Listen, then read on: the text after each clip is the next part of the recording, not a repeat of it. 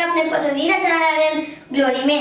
और आज के इस वीडियो में हम आप लोगों को बताएँगे टेंस रिलेटेड क्वेश्चन में थ्री टाइप के क्वेश्चन और फोर टाइप के क्वेश्चन इसके पहले के वीडियो में हमने आपको बताया था टू टाइप के क्वेश्चन तो अभी तक आपने वीडियो नहीं देखी है तो नीचे आपको डिस्क्रिप्शन में उसका लिंक मिल जाएगा। आप वहाँ जाकर वीडियो देख सकते हैं। तो दोस्तों, चलिए बिना किसी देरी के वीडियो को शुरू करते हैं। दोस्तों, जब दो ट्रेन एक ही दिशा में चलती हैं तो इन दोनों की चाल को घटा दिया जाता है। और इन दोनों की लंबाई को जोड़ दिया जाता है, यानी कि दूरी को जोड़ दिया जाता है। दोस्तों आए देखते हैं अपना फ़र्स्ट क्वेश्चन फ़र्स्ट क्वेश्चन है, दो ट्रेन है जिसकी लंबाई 200 मीटर और 120 मीटर है।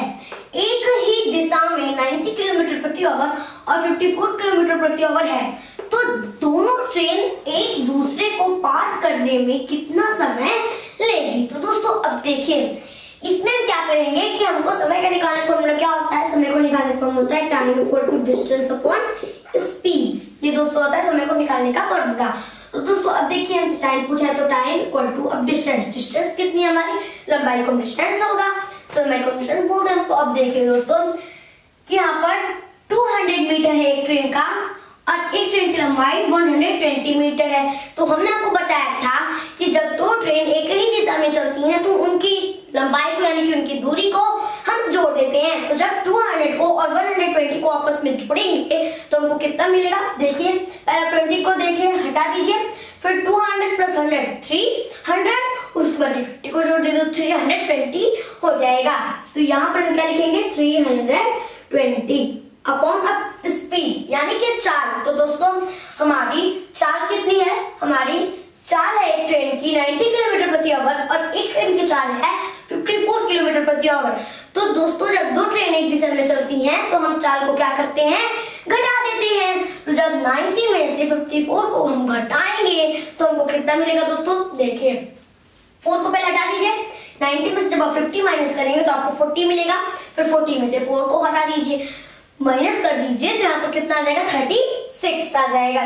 तो हम यहाँ पे लिख देंगे थर्टी सिक्स अब देखिए दोस्तों कि यहाँ पे ये जो किलोमीटर प्रति ओवर में है और ये मीटर में है तो हम क्या करेंगे कि किलोमीटर प्रति ओवर को मीटर में चेंज करेंगे। तो दोस्तों, जब हम बड़े से छोटे में जाते हैं तो किसका मल्टीप्लाई करते हैं? फाइव अपॉन एटीन का मल्टीप्लाई करते हैं। तो यहाँ पर मल्टीप्लाई फाइव अपॉन एटीन हो जाएगा। अब देखिए, ये एटीन ऊपर जाएगा। जब एटीन यहाँ पर ऊपर चला जाएगा तो इसका क्या होगा? मल्टीप्लाई हो जाएगा। तो दोस्तों, अब देखिए कि जब मल्टीप्लाई होगा तो इसको कैसे सॉल्व करेंगे? आइए आपको बताते हैं। एटीन टू से कितना हो गया? थर्टी सिक्स फिर टू से हम थ्री ट्वेंटी काट देंगे तो देखिए टू वन टू नीचे बचा वन टू उतारेंगे तो ट्वेल्व तो टू सिक्स ट्वेल्व फिर ज़ीरो उतार देंगे तो कितना हो गया? वन हंड्रेड सिक्सटी देखिए फाइव थ्री जा फिफ्टीन उस बाद वन बचा तो ज़ीरो उतारेंगे तो टेन तो फाइव टू हो गया टेन तो यहाँ आ गया थर्टी टू तो हमारा आंसर हो। जाएगा थर्टी टू सेकेंड। क्या आंसर होगा हमारा? Thirty two second. तो दोस्तों, आइए देखते हैं अपना आगे का क्वेश्चन दोस्तों, आइए देखते हैं अपना सेकंड क्वेश्चन सेकंड क्वेश्चन है, एक ट्रेन 180 मीटर लंबे पुल को 12 सेकंड में पार कर सकती है तथा एक बिजली के खंभे को 3 सेकंड में ट्रेन की लंबाई तथा चाल क्या होगी? दोस्तों, इसमें देखिए कि जो हमारी ट्रेन है, वो 180 मीटर लंबे पुल तथा उतनी लंबाई को पार करने में 12 सेकंड का समय लेती है। यानी कि इस पुल की लंबाई और खुद की लंबाई को पार करने में 12 सेकंड का समय लेती है। कितने का दोस्तों 12 सेकंड का समय लेती है। और दिया है तथा एक बिजली के खंबे को थ्री सेकंड में, यानी कि दोस्तों, खुद की लंबाई को मीन्स कि यहाँ से लेकर यहाँ तक की लंबाई को पार करने में उसे कितना समय लगता है? थ्री सेकंड का समय लगता है। तो दोस्तों थ्री सेकंड का जब इसमें समय लग जाता है तो अगर हम 12 सेकंड में से थ्री सेकंड को माइनस कर दें तो हमको यहाँ पर कितना सेकंड मिलेगा? हमको मिलेगा यहाँ पर नाइन सेकंड कितना आ गया? नाइन सेकंड मीन्स दोस्तों, ये 180 मीटर लंबे पुल की लंबाई, ना कि दोस्तों अपने ट्रेन की लंबाई, बस पुल की लंबाई को पार करने में उसे 9 सेकंड का समय लगता है। तो दोस्तों, अब देखिए कि यहाँ पर हमसे पूछा गया है चाल क्या होगी? और नंबर पूछा गया की दूरी। तो अब देखिए दोस्तों, पहले हम चाल को निकालते हैं। तो चाल को निकालने का फॉर्मूला क्या होता है? चाल को निकालने का फॉर्मूला होता है speed equal to distance upon time तो दोस्तों, इसमें देखिए कि यहाँ पर डिस्टेंस डिस्टेंस हमारी कितनी है?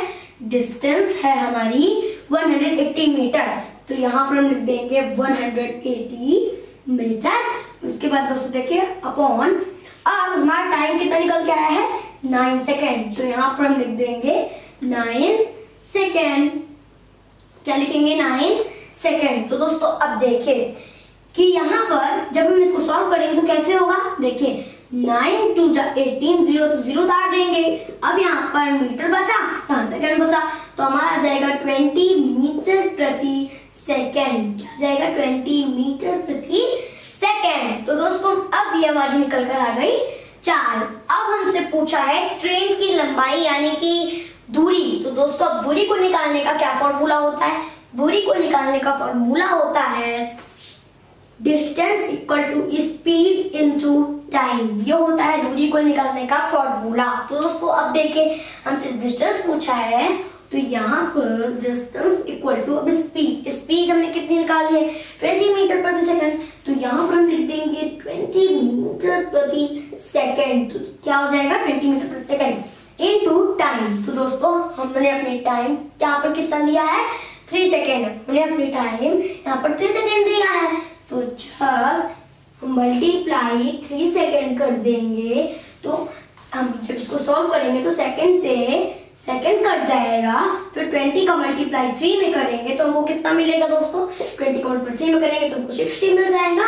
फिर क्या बचा है हमारा? मीटर बचा है। तो यहाँ पर सिक्सटी मीटर हो जाएगा।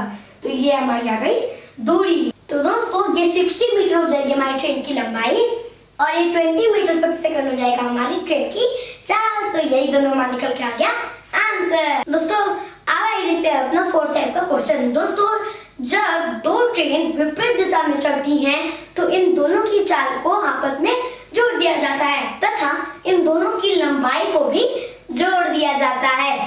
तो दोस्तों, अब देखिए कि हमारा थर्ड क्वेश्चन है? दो ट्रेन जिसकी लंबाई 147 मीटर और 178 मीटर है तो विपरीत दिशा में एक दूसरे की तरफ़ 42 किलोमीटर प्रति आवर और 48 किलोमीटर प्रति आवर की चाल से चल रही है। तो दोनों ट्रेन एक दूसरे को कितने समय में पार कर जाएगी? दोस्तों इसमें हमसे क्या पूछा गया है? समय पूछा गया है। तो समय को निकालने का क्या फॉर्मूला होता है? समय को निकालने का फॉर्मूला होता है time equal to distance upon speed तो दोस्तों देखिए, हमको डिस्टेंस कितनी दी हुई है? हमको डिस्टेंस दी हुई है एक ट्रेन की 147 मीटर और एक ट्रेन की हमको डिस्टेंस दी हुई है 178 तो जब हम 147 में 178 को प्लस करेंगे तो हमको कितना मिलेगा? 325 तो 325 को यहाँ पर लिख देंगे।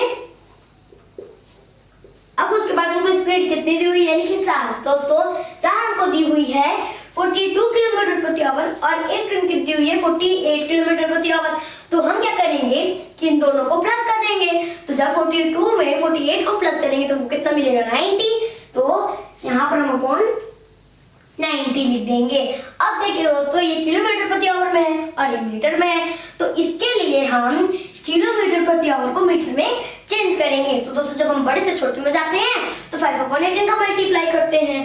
तो जब मल्टीप्लाई फाइव अपॉन एटीन का करेंगे तो इसमें एटीन ऊपर चला जाएगा। तो जब एटीन ऊपर जाएगा तो यहाँ पर मल्टीप्लाई हो जाएगा।